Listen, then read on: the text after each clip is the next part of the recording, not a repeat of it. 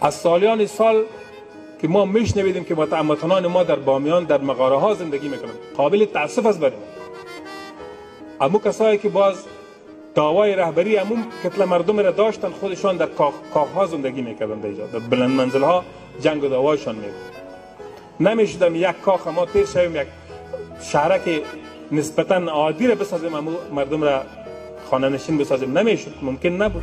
بود نمی نمی‌کردن. بناهن.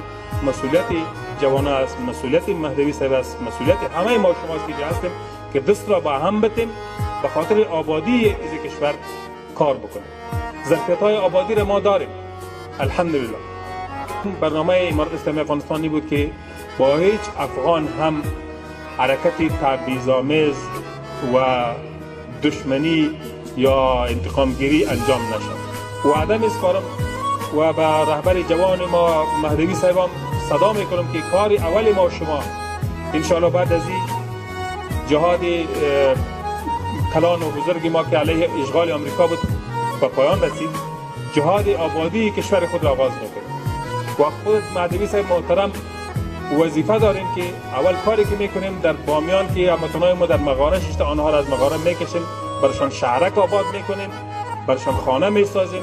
و آنها را آباد می‌کنیم این وعده باید داشته باشیم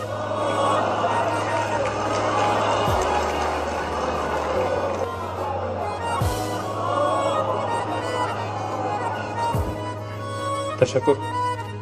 ظرفیت های آبادی را داریم. ما که در کابل آمده ما می‌بینیم تجار ملی ما هم اشتیاقی را داریم که افغانستان به پای خود استاده شود. سرمایه گذاری در کشور باید بکنه. این یک احساس بسیار خوب است. جوانای ما تحصیل کردن با دانش شدن ظرفیت های خوب علمی و استعدادهای خوبی دارن. انتظار ازی هستن که کسی برشان راهنمایی بکنه که چی باید کرد. یعنی استعداد تیار و مهیا در دست ما. افغانستان نو از جنگ برآمده. کشورهای منطقه همه کشورها می‌خواهند که از طریق افغانستان منافع خود تمویل بکنند البته منافع مشروع آنها را ما اجازه میدیم. هیچ مشکلی با آنها نداریم.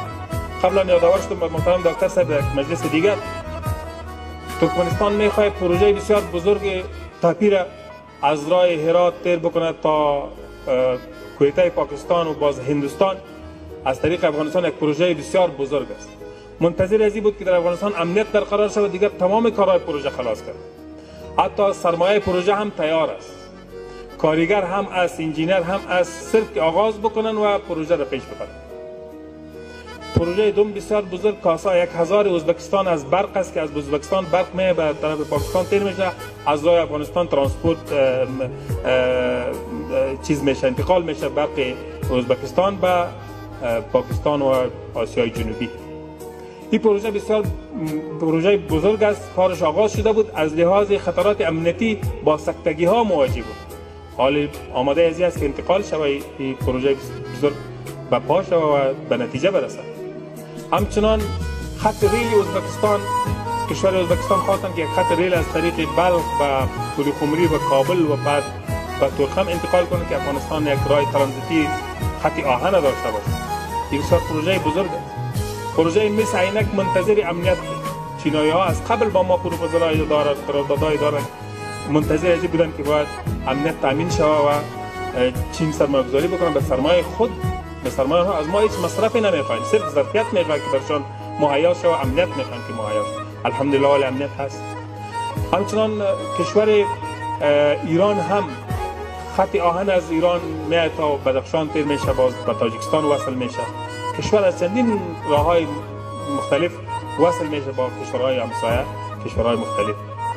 اگر همچون پروژه ها را ما از طریق امنیت امنیتش بگیریم زمینه را برشان فراهم بسازیم که انشاءالله امارت اسلامی افغانستان در این مورد جدی است. شما باور بکنید که مسئله اقتصادی ما از شش ماه به او طرف عبور نمی‌کنیم از یک سال انشاءالله به او طرف ما مسائل مشکلات اقتصادی ما رفع میشه قبلا دکتر صاحب مهدوی اشاره کردن که عواید ملی ما جمع میشه ما اطمینان می‌تونم که از این بعد اگر می رهبری باشه که هست و همین نظام باشه یک روپای بیت المال ضایع نخواهد یک و همه به درد ملت خواهد. به خاطر که کسایی که سر بیت المال مسلط هستند کسای امین هستند کسایی هستند که از خدا ترس